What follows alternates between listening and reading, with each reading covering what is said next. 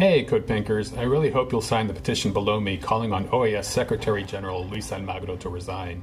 In a nutshell, Almagro and the OAS caused a coup in Bolivia last year when they falsely claimed fraud in the elections. Sounds like someone else I know who's falsely claiming fraud these days. That decision had devastating consequences for the Bolivian people as it led to a coup and a coup regime that was in power for 11 months. We're not alone in calling for the resignation of Almagro. In fact, we've been joined by social movements from throughout the hemisphere, including the Federation of Women of Peasant Women in El Trópico, which is a region in Bolivia, as well as the Grupo de Puebla, the Puebla Group, which is comprised of former prominent politicians, including four former presidents. In addition, the new president of Bolivia has called for his resignation, as has the former president, Evo Morales. And I'll leave you with a quote from Morales. Almagro should resign. His hands are stained with blood. He has no moral authority.